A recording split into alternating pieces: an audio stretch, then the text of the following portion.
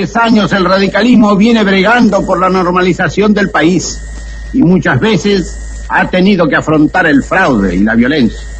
Lo ha hecho siempre con clara visión de su deber y orientado invariablemente por altos propósitos de saneamiento político y de evolución espiritual y económica. Hay que esperar que esta vez en Mendoza, gran provincia argentina, cuya riqueza y cuyo...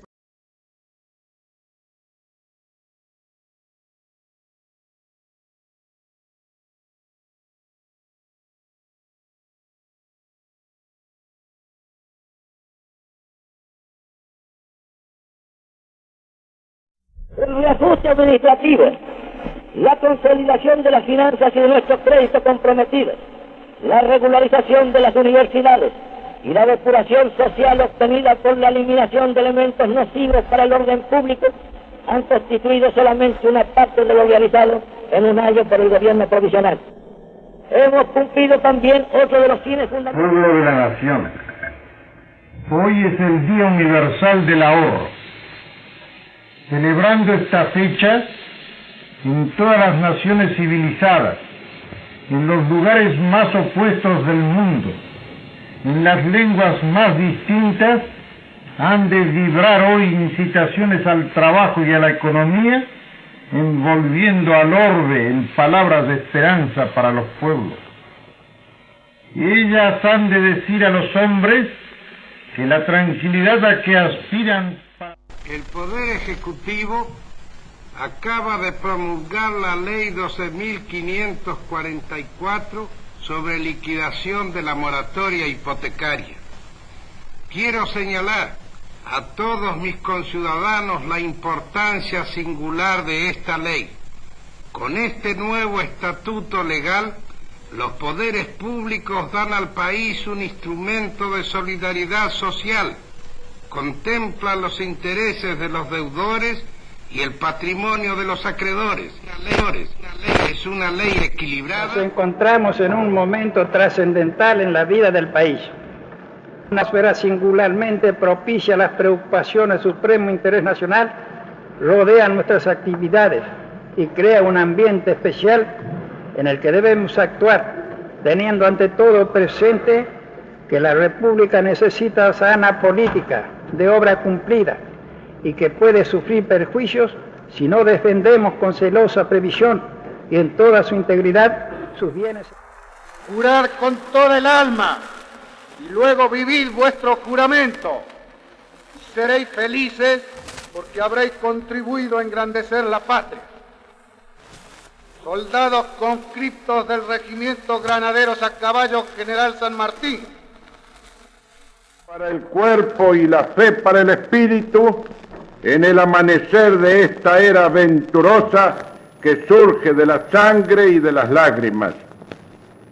La reconstrucción del mundo, la reintegración de todas las fuerzas y valores desquiciados. ¡Conmovido por esta magnífica demostración que el pueblo argentino realiza a su magnífica victoria el 24 de febrero.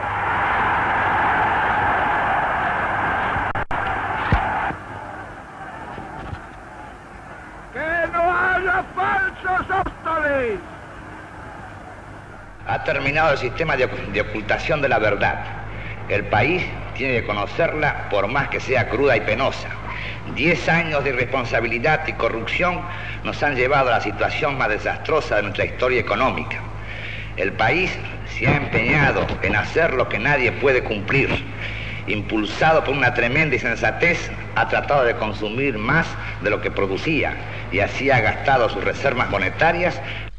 Pedro Eugenio Aramburu, juro por Dios, nuestro Señor y estos santos evangelios, desempeñar fielmente el cargo de presidente provisional de la Nación Argentina. Si así no lo hiciere, que Dios y la patria me lo demanden.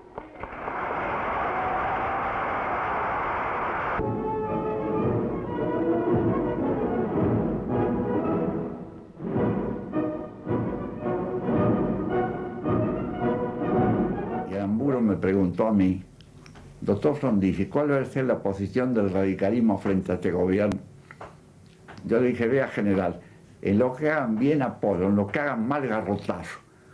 Entonces Balbín le dijo, por primera vez discrepo con mi amigo Frondizi. Ustedes han derrocado una dictadura en la Argentina, en lo que hagan bien apoyo, en lo que hagan mal apoyo también. Yo ese día me di cuenta que él tomaba un camino y lo tomaba otro. La democracia no es solo una forma de gobierno, sino también y superlativamente una forma de vida. Es una disposición de ánimo de los diversos sectores de la comunidad abiertos a la convivencia y a la recíproca tolerancia. La vigencia de la democracia en el mundo no se funda, pues, en razones de conveniencia o de oportunidad, sino en la profundidad. Para llevarles a las argentinas y a los argentinos que profundicen en sus meditaciones y en sus reflexiones cuál es el, la responsabilidad que le cabe frente a este cacer nacional, es únicamente para pedirle que en esta inquietud que todos tenemos para servir a la patria, si nos ponemos de acuerdo en estas prioridades sustanciales, verán, señores, que la Revolución Argentina, con un vasto plan de afirmaciones positivas y de realizaciones concretas. Este es el fin del proceso de deterioro que nos ha inmovilizado y el despuntar de una magnífica esperanza para nuestra patria. Todos estamos convencidos que no podíamos seguir viviendo en medio de la ficción y el desprestigio. La autenticidad será, pues, característica de mi gobierno. Sabremos mirar la realidad de frente e ir al fondo de los problemas para darle remedio. Roberto Marcelo Levingston, juro por Dios nuestro Señor y estos santos evangelios, desempeñar con lealtad y patriotismo el cargo de presidente de la nación para que he sido designado, observando y haciendo observar en cuanto de mí dependa el Estatuto de la Revolución Argentina y la Constitución Nacional. Si así no Dios y la nación me lo demanden. Alejandro Agustín Lanuse, juro a Dios nuestro Señor y a la patria, sobre estos santos evangelios, desempeñar con lealtad y patriotismo el cargo de presidente de la Nación Argentina para el que he sido designado, observando. Este honor de proponerme como candidato ante la ciudadanía argentina en el proceso que se cristalizara con nuestro triunfo el 11 de marzo último pasado. Así es. Ahora, doctor, como primera requisitoria nuestra, en torno a la expectativa que ha creado este viaje suyo en nuestro país y en el mundo, quisiéramos que sea usted precisamente que nos explique cómo se ha propiciado. Bueno, Villarroel, mi viaje, inmediatamente del 11 de marzo, lo tenía concebido a los solos efectos, con el único objetivo. Para todos, expreso el homenaje de solidaridad, gratitud y admiración del pueblo y el... Somos y nos sentimos argentinos desde la historia y para la historia. Enraizados en el pasado, nos proyectamos hacia el futuro.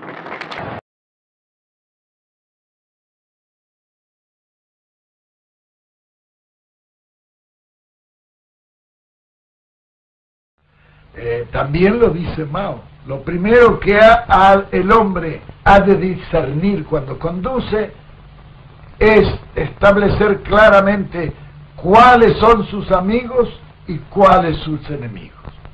Y dedicarse después, esto ya no lo dice Mao, lo digo yo, al amigo todo, al enemigo ni justicia. Porque en esto no se puede tener dualidades. Circunstancias que debe retemplar el espíritu del pueblo argentino en un sentido de verdadera unidad nacional. El presidente de los argentinos ha dado a su patria y al continente latinoamericano la más grande expresión de grandeza y humanismo cristiano. Entregó su vida. El triunfo alcanzado frente a la agresión terrorista es un patrimonio del cual todos los argentinos deben enorgullecerse y que no admite, por lo tanto, retaseos ni menoscabos. Implica asimismo el punto final y sin retorno de una dolorosa experiencia que puso a prueba la voluntad nacional y demostró nuestra vocación de hombres libres. Y, digamos, ateniéndome fundamentalmente a su expresión de esperanzas y expectativas, yo diría que tengan la absoluta certeza que brindaremos lo mejor de nuestro esfuerzo tratando de satisfacer no esas expectativas, sino esas esperanzas. Yo estoy absolutamente convencido que las Fuerzas Armadas no... Acá están reunidos obreros, empresarios, intelectuales, todos los órdenes de la vida nacional en la Unión Nacional en procura del bienestar del país y su dignidad. Que sepa el mundo, América, que un pueblo... Normalización constitucional. Toda la normativa que rige el tránsito hacia el comicio tiene indudable sustento constitucional, el cual, sumado a una total prescindencia política, aleja toda sospecha de parcialidad o favoritismo hacia los protagonistas de nuestro futuro institucional. Compatriotas, felices Pascuas.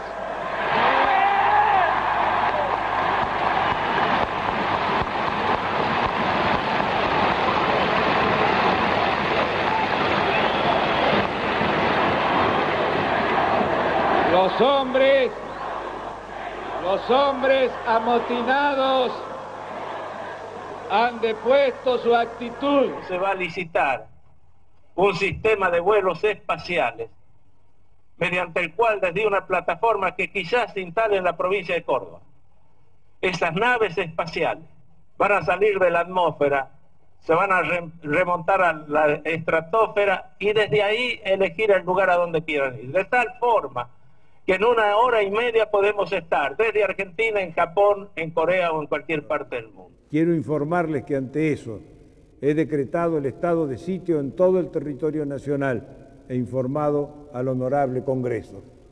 Nuestro país vive horas difíciles que muestran la culminación de un largo proceso de deterioro. En un contexto económico y social donde muchos argentinos sufren serios problemas, grupos enemigos del orden y de la República aprovechan para intentar sembrar discordia y violencia.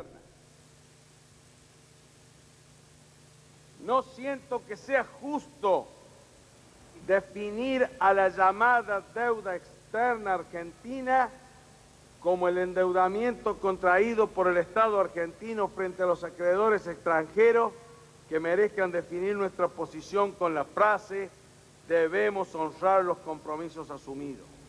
La deuda externa argentina se ha venido... Desde mañana, sin delegar la responsabilidad en la recuperación de la paz social que me compete y la tarea que debo realizar, estaremos trabajando juntos con las fuerzas políticas, empresariales, laborales y organizaciones no gubernamentales en la elaboración inmediata de un programa de salvación.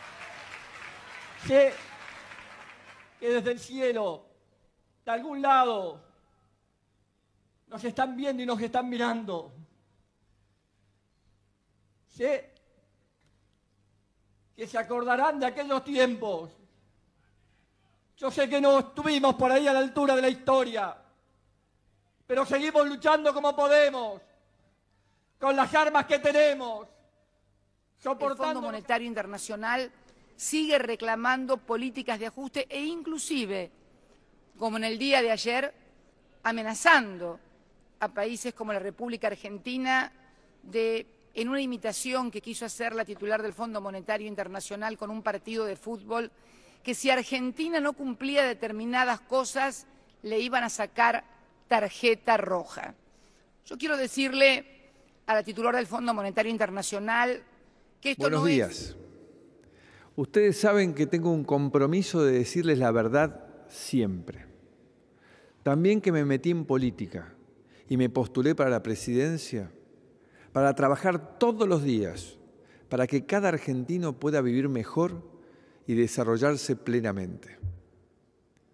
Mi convicción es que estamos recorriendo el único camino posible para salir del estancamiento, buscando siempre gritar un... Buenos días. Quiero anunciarles que el gobierno de la Argentina ha llegado a un acuerdo con el Fondo Monetario Internacional. Gobernar es un ejercicio de responsabilidad. Sufríamos un problema y ahora tenemos una solución. Teníamos una soga al cuello, una espada de Damocles y ahora tenemos un camino que podemos recorrer. Sin acuerdo, no teníamos un horizonte de futuro.